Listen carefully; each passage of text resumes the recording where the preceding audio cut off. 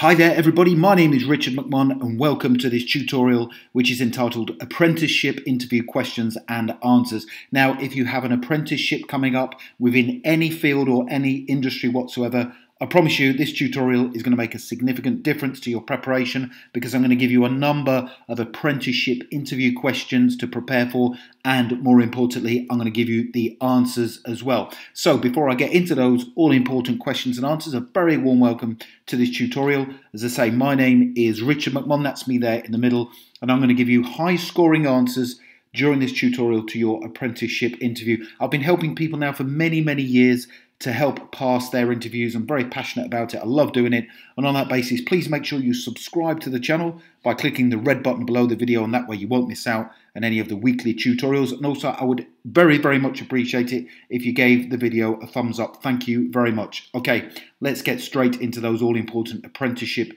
interview questions and answers. Now, to study this tutorial, you need no prior experience of having attended any interviews, and I understand the majority of people who go along to an apprenticeship interview will not have much experience of interview. So I've tailored the answers to help you prepare fully. First question Tell me about yourself and why you want this particular apprenticeship. So there's two parts to it. Tell me about yourself and why you want this particular apprenticeship. And here's my suggested strong answer I am someone who is hardworking, conscientious, and professional. I fully understand that you want to take someone on within this apprenticeship who will not only work hard to do the job properly, but who will also continually grow and develop as the apprenticeship progresses. I want this particular apprenticeship for three main reasons. The first reason is that it will enable me to work within an industry that I am passionate about. The second reason is the apprenticeship will allow me to learn a huge amount whilst developing new skills. And finally, you are an organisation that has a brilliant reputation, and I would feel very proud being a part of your team for the duration of the apprenticeship. So that's a solid, concise answer that's full of positivity and it answers the, the question really well. Okay, next question. And by the way, I'm going to tell you where you can download a copy of these apprenticeship interview questions and answers um, at some stage during this tutorial. So, yeah, please do watch it from beginning to end. How can we be sure you will successfully complete the apprenticeship to the required standard? So, it's okay them taking you on because generally the salary will be quite low for an apprenticeship, but they want you to complete it. They don't want you to just sit back and plod along, they want you to complete it successfully. So the question is how can we be sure you will successfully complete the apprenticeship to the necessary standard? Here's my answer. Although I have little work experience to date, I feel I am mature and I understand that the apprenticeship will only be successful if I put in the hard work and learn and develop as my time here progresses. There is no way I would just sit back and do the bare minimum during the apprenticeship.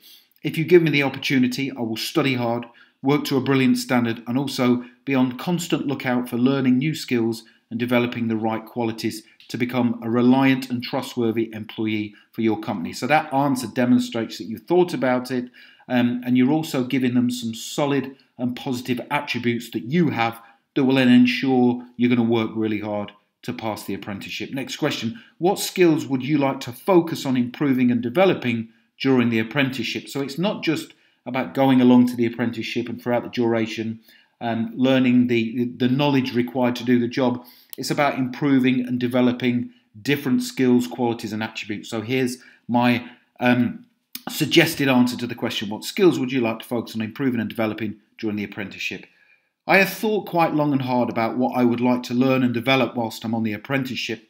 Firstly, I would like to learn the applicable skills and knowledge relevant to the industry that will enable me to perform the role to a high standard. Secondly, I would like to develop a strong work ethic that enables me to become a competent employee. Finally, I would like to learn from as many experienced people within your organisation as possible, as I feel this will give me the right team working qualities and attributes to become a valuable and loyal member of your company. So it shows that you've thought carefully about what it is you want to learn whilst you're there. Of course, you're going to learn the you know the knowledge and the skills to do the job correctly, but there's also the different element of becoming a great team worker, someone who's competent in their role, they're professional, they're mature, and also you can follow rules and procedures. And I'll come on to that kind of question soon because that's pretty much guaranteed to be a question during your apprenticeship interview.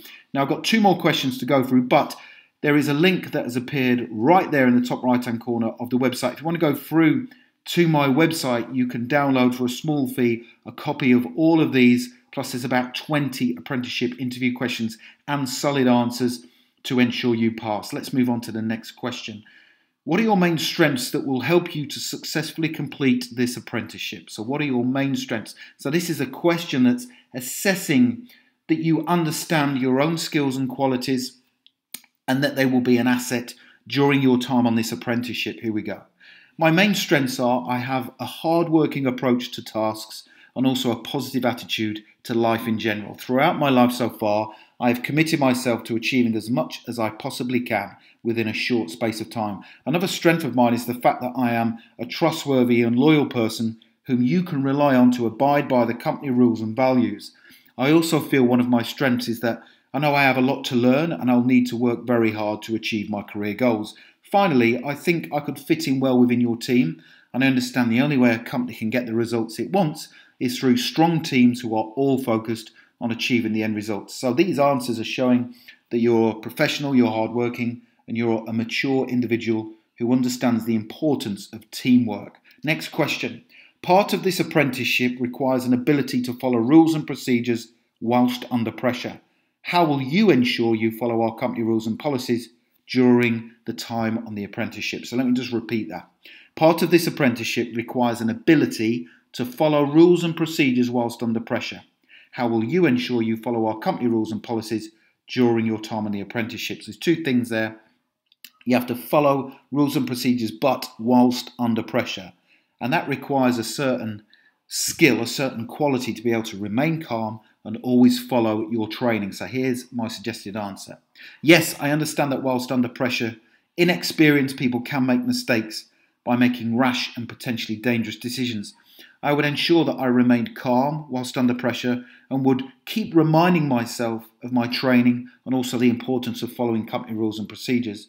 If I failed to follow the rules and procedures, I could not only jeopardise your company and its strong reputation, but my actions could also affect other people too. I feel confident I will always follow the rules and procedures, and if I'm ever unsure about anything, I will not take any risks and I will seek advice from my supervisor or a more experienced member of staff. So, as I say, if you want to download those and more, please click the link below the video right now or go to my website, passmyinterview.com, and then you can find out about how to download the apprenticeship interview questions and answers. Hope you've enjoyed the tutorial. Thank you very much for your time and for watching and listening. If you have any questions at all, stick them in the comments section below the video and I'll be more than happy to answer them for you. And I wish you all the very best for passing your apprenticeship interview. Thank you for watching and have a brilliant day.